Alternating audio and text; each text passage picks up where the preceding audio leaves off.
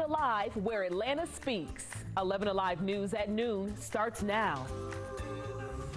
New information this hour. Two people have been arrested in connection to a weekend shooting at Lenox Square Mall.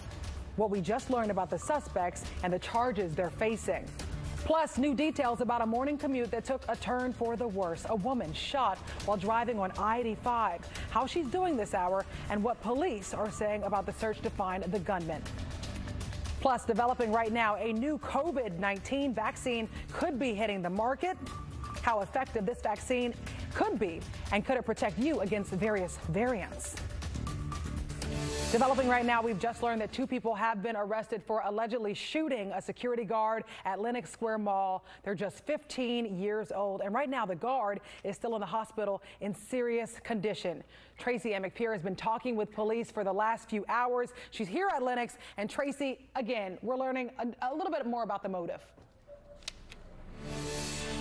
That's right. And based on the charges the 15 year old boy and girl are facing, it sounds like this may have been an armed robbery. Now, today they are facing a number of charges, including a criminal attempt to commit murder, robbery, aggravated assault, and tampering with evidence. Now, the mall had already closed for the night when police say the guard was shot just outside an entrance near the Apple store around 8.30 last night. He was hit in the torso.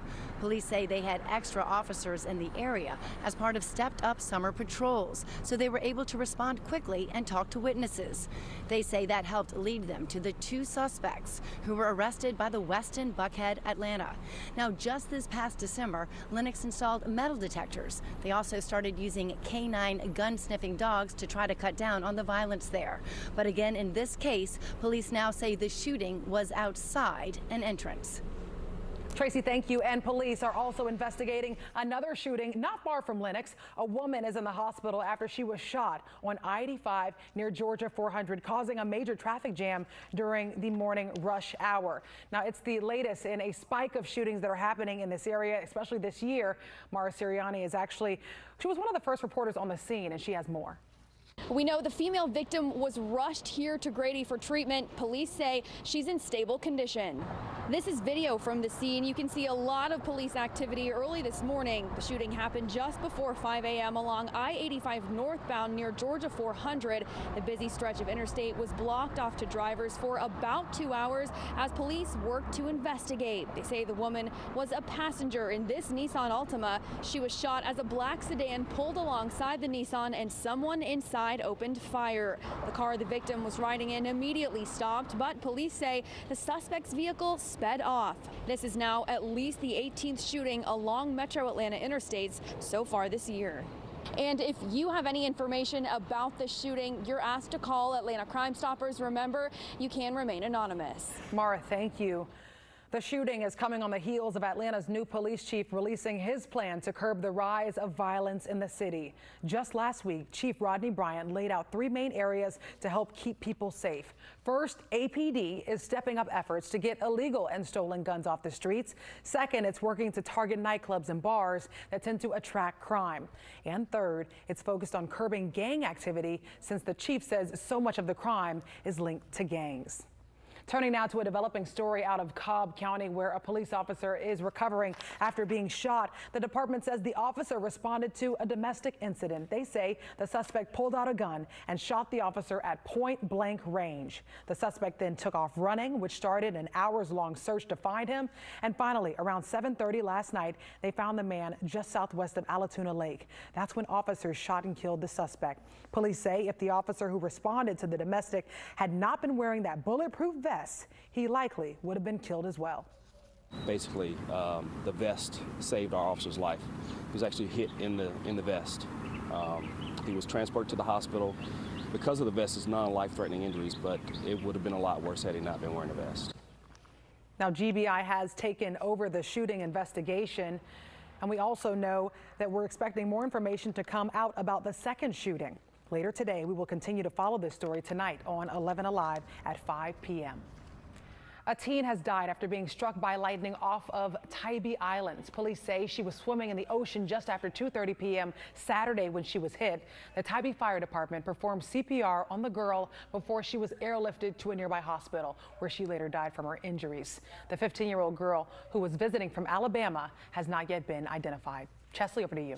All right, thanks a lot. We are looking at well, a few cumulus clouds starting to pop up in the forecast area thanks to the daytime heating. You Get to see those cumulus clouds right there? Fair weather clouds is what we like to call them. Mostly sunny skies to call for this afternoon. It's uh, warm out there to say the least. Temperatures are in the 80s. I think we'll get up to the low 90s for highs this afternoon with a few thunderstorms breaking out as well. Not everyone will see those thunderstorms though. It's only a 30% chance. You can see where we had the clouds earlier this morning. Those clouds just fading away further down to the south. Got a front up here to the north stationary now, but that will move through. Our winds will shift to more northwesterly and uh, bring in some drier air for a change, right? We experienced those thunderstorms all week last week, some of those on the heavy side. Uh, big area as well, widespread thunderstorms. This afternoon, it's going to be more on the isolated side, but where we have a few of those uh, uh embedded thunderstorms, this is where you're going to see that brief heavy rain. You're going to see frequent lightning and maybe some gusty winds associated with a few of those. Here we are by 415. You can see those around the area. We'll continue to settle down to the south as they diminish around 8 o'clock tonight. We'll be left with a few clouds, but those clouds will get out of the way and we'll get the sunshine back in here for your Tuesday. And it will be a nice dry day for your Tuesday as well. In fact, rest of the week looks pretty good. Today, though, temperature should be in the low 90s. When you factor in the humidity with it, it's going to feel like the mid to upper 90s out there. So it's going to feel pretty hot. Uh, we'll drop back down to 90 degrees by 7 o'clock tonight. Got some activity in the tropics. In fact, three areas that we're looking at for development even have a new tropical depression. We're going to detail that for you in the full forecast coming up. Francesca, back to you. Chesley, thank you. We're following breaking news for you right now. Fire crews in Rockton, Illinois, fighting a massive fire at the Chemtool chemical plant. An explosion erupted at the site early this morning, sending large flames and heavy smoke covering the area. No word on what caused that massive fire or if there are any injuries. Chemtool Incorporated is one of the largest manufacturers of greases and functional fluids in the world. Turning now to the fight against COVID-19, a new COVID vaccine could be coming into the market. The company Novavax announcing their latest COVID vaccine trial shows it's highly effective against symptomatic infection, including against the variants. Now, the company says the phase three trial involved nearly 30,000 people in the U.S. and Mexico, and their two-dose vaccines was 90.4% effective and 93% effective against the variants, including the Alpha variant, which was the predominant variant seen in the U.S. trial. The company says it plans to file for authorization with the FDA in the third quarter. And the U.S. is getting closer to President Biden's vaccination goal of 70% of adults with at least one dose by July 4th. The CDC now reporting 64% of American adults have gotten at least one shot. Now, more than 309 million shots have been administered so far, and nearly 54% are fully vaccinated. The CDC also reporting that 1.2 million doses have been given since Saturday. Now let's zoom in on Georgia's vaccine progress. Today, 41% of people across the state have at least one dose. When it comes to those who are fully vaccinated, that number is at least 35%. More than 7.8 million shots have been administered. Another flu season is behind us while the next is still months away, but medical experts are already concerned thanks to the impact of COVID-19. The pandemic will impact one of the weapons that we use against the flu, but why? Here's our why guy. It's how one virus impacts another. With our focus on COVID 19, the number of influenza cases this year has been low. Georgia Tech's Dr. M.G. Finn says major efforts to avoid a history making illness had impacts across the board. Because people were wearing masks, because uh, we were doing social distancing all over the world, um, other viruses that spread in the same way that coronavirus spreads, most of those viruses also have uh, decreased. Whether masks and social distancing are with us next year or not, COVID 19 will have an impact on flu season. Here's why. The precise impact will be on the flu vaccine. It changes every year depending on the variants that emerge. There are many centers, medical centers all over the world that monitor the flu virus in their areas and they collect information. You need to know what viruses are circulating. The information collected during this flu season will help determine which variants the vaccine needs to cover next year. However, fewer cases of the flu means less information. There is some data for sure, but not as much as usually is available. Despite that, Dr. Finn and other medical experts say next year's flu vaccine will help prevent illness. There will still be flu, vi- flu vaccines created for next year, and I recommend that people take that vaccine. It takes at least six months to produce large quantities of vaccine. Some manufacturers are already at work using the information they have to prepare for next flu season. Jerry, thank you. Today in DeKalb County, CEO Michael Thurmond and other county officials are giving an update on the Tenant Landlord Assistance Coalition program. Thurmond says the program will be reopened to county residents beginning next Monday, June 21st. So far, the county has been able to give out $900,000 in relief to more than 230 families. And according to Thurmond, there is still $21 million to give out. But he says $50 million has been accrued in fees for back paid rent, and the county will need money money, more money to help. What we have decided to do was to triage those needs and to ensure that the people who are most at risk of being evicted are first in line to receive the uh, support. Now, the program will reopen next Monday at 8.30 in the morning. Officials say make sure you have all paperwork needed before submitting your information. Still ahead, trouble in the skies. Take a look at this video. Multiple incidents aboard flights now sparking talks of increased fines for unruly passengers.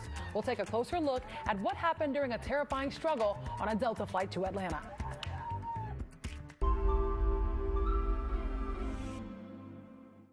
Is your morning routine feeling a little routine? Then mix it up. Morning Rush is different. It's the fast paced news you need with all the energy of your morning coffee. Come see the difference on Morning Rush, weekdays on 11 Alive. Weather can't run from the all new 11 Alive Thunder Truck, a mobile weather center with the power and speed to chase down the strongest storms and bring you on the ground conditions. The 11 Alive Thunder Truck, sponsored by Landmark Dodge. Here in Atlanta, bad weather means bad traffic. A few drops of rain could destroy a commute. But that's where my man Crash Clark comes in. I go street level, he goes next level. Together, we make sure you get to work on time. Morning Rush, weekdays 5 to 7 on 11 Alive. Hey, quick, open up your phone camera right now. Aim it at the screen to download 11 Alive's new and improved app. This QR code will take you right to the App Store or Google Play. One simple tap gives you enhanced radar, street level zoom, and severe weather alerts. It's just that easy. Atlanta roads are my thing. ITP, OTP, Ponce, Piedmont, all the peach trees. Combined with Chesley's street level forecast, that's a lot of tech and experience to help your commute. Morning Rush, weekdays 5 to 7 on 11 Alive. We're quite the combo.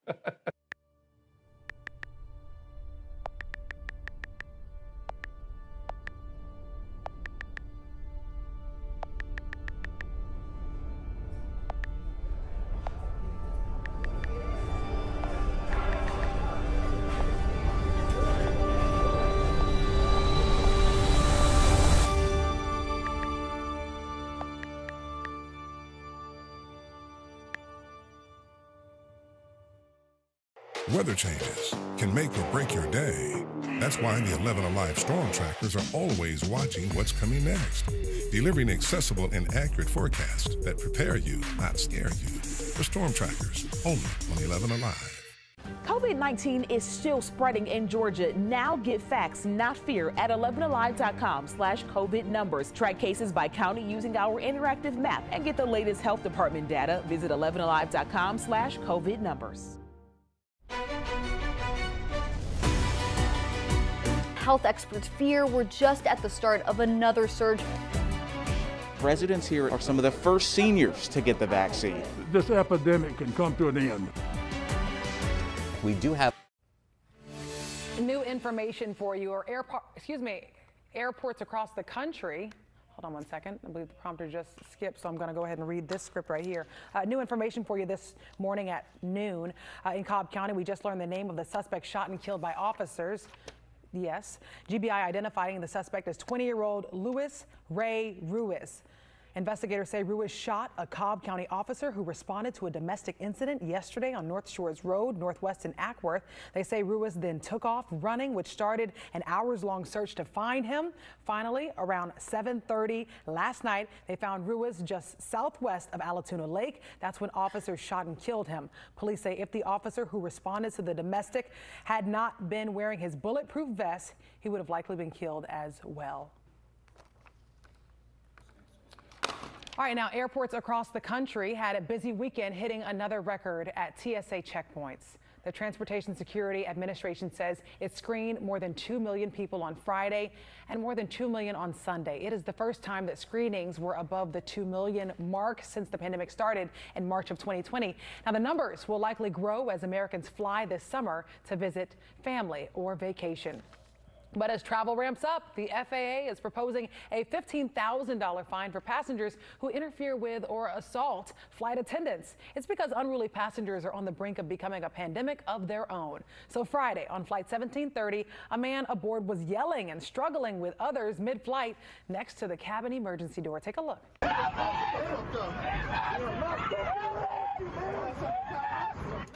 Passengers say the man was walking up and down the aisle telling people to sit down and somehow got on the speaker and told passengers to put on their oxygen mask. At one point, the pilot asked all strong men to come help and restrain this guy. Now, several passengers stepped up and managed to bring the man under control. People thought our plane was like going down. It was extremely scary. Like I'm, I'm still shaking.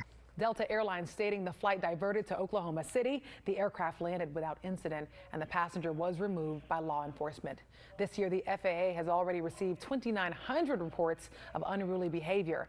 And the majority of these involving travelers refusing to wear masks. The FAA has identified potential violations in 446 cases and have initiated enforcement action in 42 of them. Chesley, over to you. All right, thanks a lot, Francesca. We are looking at, um, well, fair skies is what we'll call it for now. We got a few cumulus clouds outside, but you can see on the radar, there's not much going on. We are anticipating the development of showers uh, sometime this afternoon. In fact, I was saying earlier today, we could see one at any point. We saw one up in our, a couple up in our northwestern counties earlier today, but nothing out there right now. They will develop, especially with the daytime heating and a front interacting with our area as well as that continues to push down to the south. This is the Wizometer. It's how we rate your weather on a scale from 1 to 11, with 11 being the most perfect day we can have at this time of year. I'm going to give it a 7 out of a possible 11. There's a 30% chance for those showers with embedded thunderstorms to form this afternoon. Not everyone gets wet. It's only a 30% chance, but where you have those, it will be some brief heavy rain on you. Could be some frequent lightning as well, maybe even some gusty winds, so we'll have to watch it uh, for this afternoon. We're not anticipating any severe weather, or at least widespread severe weather at all today. And temperatures in the low 90s for this afternoon. That front just up to the north of us, uh, stationary, but drifting right on through. Has made it through our northwestern counties. We'll continue to slide down to the south. You can see the winds have begun to shift out of the north as well. It's going to bring in some drier air for us. Unlike last week where we had those thunderstorms each and every afternoon. We won't see that this week. We'll see it today. But after today, the front pushing down to the south of us will be fine, at least from any afternoon scattered thunderstorms. And that'll be nice. The humidity goes down as well, so that'll be really, really nice. All right, it's the middle of June, and already the tropics getting very, very active. It's like they exploded this morning, right? We were watching uh, over the weekend an area in the Bay of Campeche uh, development, possibly, but that has uh, lifted as well. We're looking at a 60% chance for development there over the next five days. And then another area that's covered by our little bug there, you can see where we have a 20% chance for development over the next five days. That's way out there, closer to Africa. And then tropical depression number two has formed just off the coast of North Carolina. Right now, packing winds up to 35 miles per hour. It is moving to the northeast very rapidly at 21 miles per hour and will continue in that direction, moving away from the United States. That's good news. Right now, located about 105 miles just to the east of Cape Hatteras. Here's the outer banks of North Carolina. Cape Hatteras right in there. And so it's about 105 miles just to the east of Cape Hatteras, but will continue to pull further off toward the north and east and away from the United States. That's good news. It is forecast to become a tropical storm. We'll have to wait and see if it does. Sometime tomorrow it could, and that would give it a name. And that name would be Bill, good old Bill. All right, let's take a look at this cluster of thunderstorms down here to the south of us. Uh, initially uh, had some movement. The models were showing it moving further off to the north. Now we just are down to one model moving it up to the north. You can see most of them painted going back down into Mexico over the next couple of days. We'll have to watch that. We do have some models that will lift that further off to the north and bring in some uh, rainfall over the Gulf Coast states. So we'll wait, watch and see what happens as it continues to meander around the Gulf. Uh, Bill, again, would be the next name storm. We've already had Ana. And then after that, Claudette. Don't want to be a record-breaking season. Nobody wants that like we saw last year. All right, here's those thunderstorms breaking out this afternoon. Here we are by 5.30. You can see where we'll have a few isolated showers and thunderstorms around. That should be out of the way by about 8 o'clock tonight, 8, 9 o'clock. And then we'll see that uh, the clouds hang on. Then they'll break up by Tuesday morning. We're going to start you off with the sunshine and we're going to hold on to it for the rest of the day. In fact, Wednesday will be a repeater, again with a low humidity around, and temperatures will be in the upper 80s by Wednesday. That'll be nice. Tomorrow, we're looking at 90 for a high temperature. 87 for Wednesday, 88 by Thursday, two tens right there on the wasometer with mostly sunny skies. A few more clouds coming back to us by Friday with 91 for the high. And it's Father's Day weekend that the rain returns. Hmm. 40% chance on Sunday with 87 for the high. Francesca? One of Chesley's favorite holidays. You know it. New this afternoon, it was a big topic of conversation over the past year, the 2020 census. But now some of you tell us you're being asked for even more information and you're wondering if the questions are legit. Liza Lucas verifies. The 11 Alive Verify team is tracking viral claims and questions you send to our newsroom. One viewer says she received a survey from the U.S. Census Bureau called the American Community Survey and wants to know if it's legitimate. Let's verify. Our sources a spokesperson for the U.S. Census Bureau, the government website, and Peter Bluestone, Senior Research Associate at Georgia State University. To recap, the 2020 census is the 10 year survey, primarily a population count, which determines each state's congressional representation. The American Community Survey is different. It's an annual survey sent by the U.S. Census Bureau to a sample of the population each month. And the questions dig deeper, asking about topics like education, employment, and transportation. The responses help decide how federal funding gets spent. We're going through that process right now with the American Rescue Plan.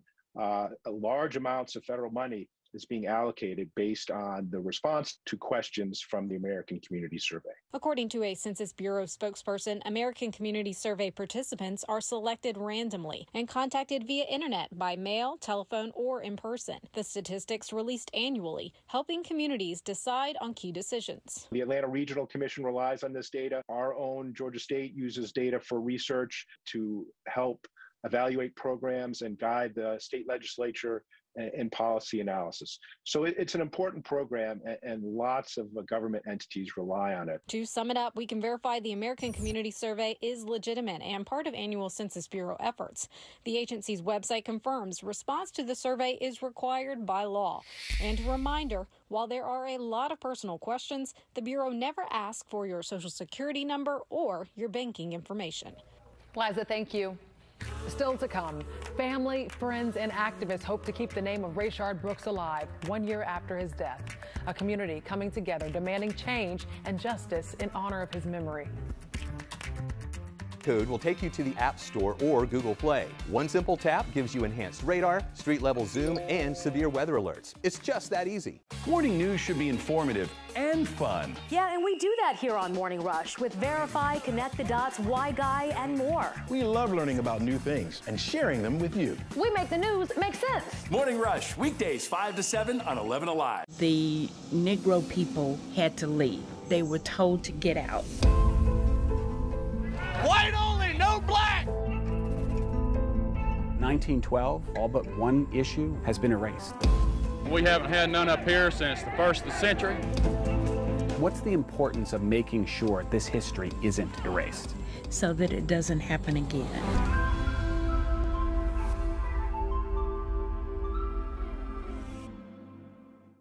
Is your morning routine feeling a little routine? Then mix it up. Morning Rush is different. It's the fast paced news you need with all the energy of your morning coffee. Come see the difference on Morning Rush, weekdays on 11 Alive. Weather can't run from the all new 11 Alive Thunder Truck, a mobile weather center with the power and speed to chase down the strongest storms and bring you on the ground conditions. The 11 Alive Thunder Truck, sponsored by Landmark Dodge. Here in Atlanta, bad weather means bad traffic. A few drops of rain could destroy a commute. But that's where my man Crash Clark comes in.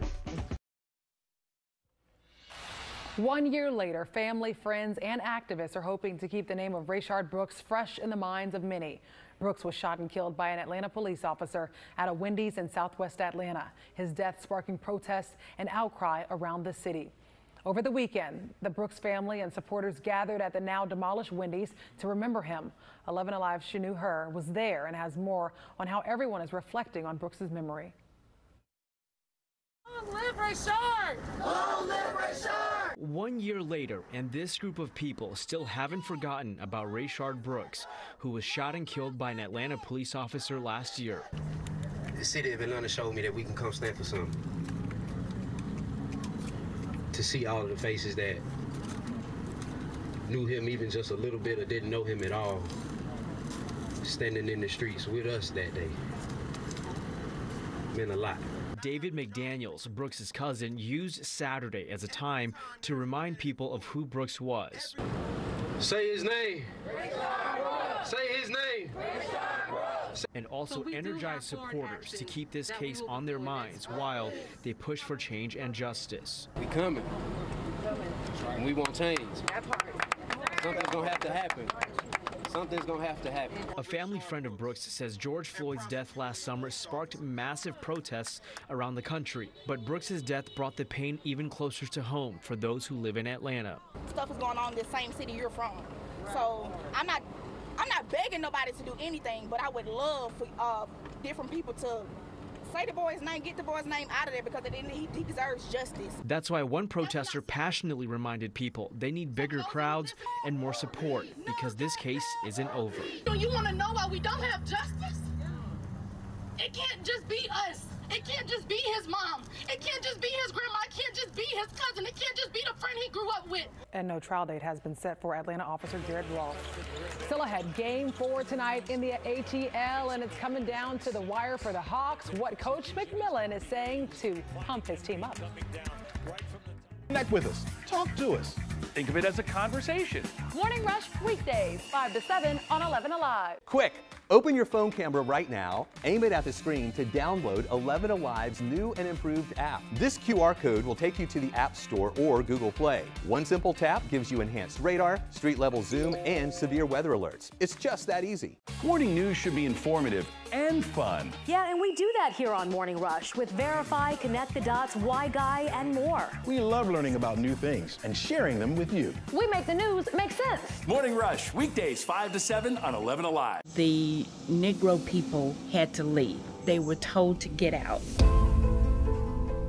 White only, no black! 1912, all but one issue has been erased. We haven't had none up here since the first of the century. What's the importance of making sure this history isn't erased? So that it doesn't happen again.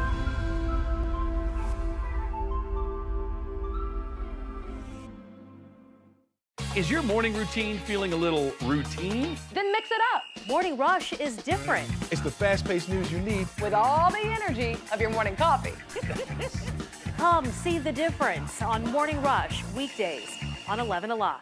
Weather can't run from the all new 11 Alive Thunder Truck, a mobile weather center with the power and speed to chase down the strongest storms and bring you on the ground conditions. The 11 Alive Thunder Truck, sponsored by Landmark Dodge. Here in Atlanta, bad weather means bad traffic. A few drops of rain could destroy a commute. But that's where my man Crash Clark comes in. I go street level, he goes next level. Together, we make sure you get to work on time. Morning Rush, weekdays 5 to 7 on 11 Alive. Hey, quick, open up your phone camera right now. Aim it at the screen to download 11 Alive's new and improved app.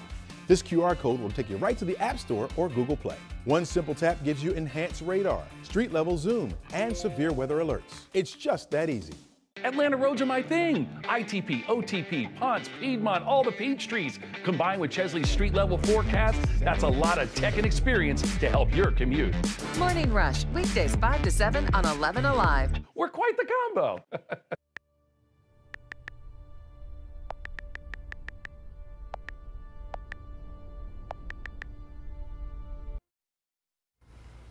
Welcome back. The rest of the Sixers game and the series is going to be an uphill battle for the Hawks as they get ready for game four tonight, down two games to one. They're in desperation mode.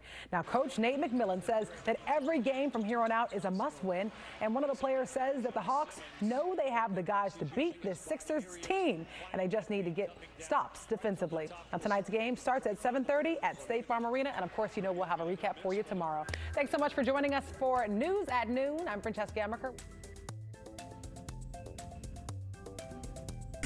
Only on 11 Alive. COVID 19 is still spreading in Georgia. Now get facts, not fear, at 11alive.com slash COVID numbers. Track cases by county using our interactive map and get the latest health department data. Visit 11alive.com slash COVID numbers. Health experts fear we're just at the start of another surge. Residents here are some of the first seniors to get the vaccine. This epidemic can come to an end. We do have a flash flood warning that just popped up.